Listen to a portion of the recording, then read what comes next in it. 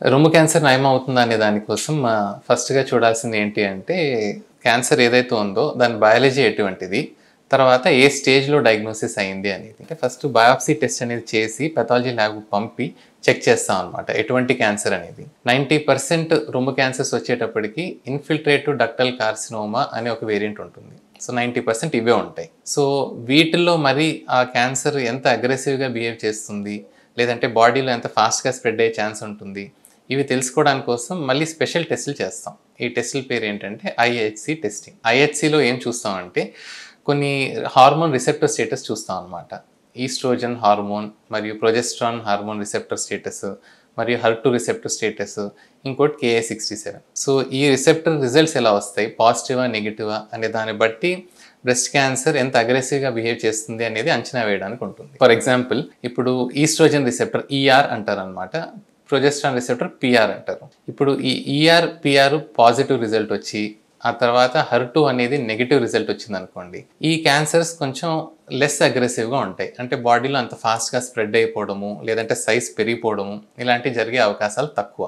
So అదే report ఈ ER PR negative వచ్చి నెక్స్ట్ హర్టు అనేది పాజిటివ్ వచ్చింది అనుకోండి ఇవి వీటికి ఎగ్జాక్ట్గా ఆపోజిట్గా బిహేవ్ చేస్తాయి. సో ఇవి సైజ్ పెరగడం కానీ మల్టిప్లై అవ్వడం కానీ బాడీలో ఇతర ఆర్గన్స్కి లైక్ లంగ్ కానీ బ్రెయిన్కి కానీ స్ప్రెడ్ అవ్వడానికి ఛాన్సెస్ చాలా ఎక్కువగా ఉంటాయి. బట్ ఇంత ముందు ఈ హర్టు పాజిటివ్ క్యాన్సర్ని ట్రీట్ చేయడానికి అంత మంచి మందులు అయితే ఉండేవి కాదు. బట్ ఈ ఇప్పుడు ట్రాస్టూసుమ్యాప్ పర్టూసుమ్యాప్ టీడీఎం వన్ లేక అనేక టార్గెటెడ్ థెరపీ మెడిసిన్స్ వచ్చాయి. సో ఇప్పుడు ఆ మెడిసిన్స్ పెట్టి ట్రీట్ చేయగలిగితే మాత్రం ఈ ఈఆర్పిఆర్ పాజిటివ్ అంటే లోగా మల్టిప్లై బ్రెస్ట్ క్యాన్సర్ బయాలజీ ఏదైతే ఉందో ఇది క్యాన్సర్ కూడా అదే లెవెల్గా కన్వర్ట్ చేసి కంట్రోల్ చేసుకోవడానికి ఛాన్స్ ఉంటుందన్నమాట. తర్వాత ఇంకో మూడో రకం ఎలా ఉంటుందంటే అన్ని negative ER negative PR negative మరియు హర్టు కూడా నెగిటివ్ దీన్ని మేము ట్రిపుల్ నెగిటివ్ బ్రెస్ట్ క్యాన్సర్ అంటాం. ఇప్పుడు ఉన్న వాటిల్లో అన్నిటికన్నా అగ్రెసివ్ రకం ఏంటంటే ఇది. సో మల్టిప్లికేషన్ కానీ బ్రెయిన్కి లివర్కి లంగ్కి బోన్కి ఇలా స్ప్రెడ్ అవ్వడం కానీ లేదంటే డయాగ్నోస్ అయ్యేటప్పటికి అడ్వాన్స్ స్టేజ్లో ఉండడం కానీ ఈ ట్రిపుల్ నెగిటివ్ వేరియంట్లు అనేది కామన్గా చూస్తాం. ప్లస్ ఈ ట్రిపుల్ నెగిటివ్ యంగ్ వాళ్ళలో కామన్గా ఉంటుంది. ఉదాహరణకి కామన్గా బ్రెస్ట్ క్యాన్సర్ మనం చూస్తే ఫిఫ్టీ ఇయర్స్ అండ్ అబోవ్ వాళ్ళలో వస్తుందన్నమాట. బట్ ఈ ట్రిపుల్ నెగిటివ్ అనే వేరియంట్ ఏంటంటే even thirty five years and above వాళ్ళు వచ్చేదానికి ఛాన్సెస్ ఎక్కువ ఉంటాయి. అండ్ అన్నిటికన్నా అగ్రెసివ్ వేరియంట్. సో ఇది బయాలజీ. ఈ బయాలజీ బట్టి ఏమాత్రం నయమయ్యే ఛాన్స్ ఉంటుంది అనేది ఒక ఐడియా వస్తుంది. ఆ తర్వాత నెక్స్ట్ చూసుకోవాల్సిన స్టేజ్. బ్రెస్ట్ క్యాన్సర్ ఏ స్టేజ్లో ఉంది అనేది.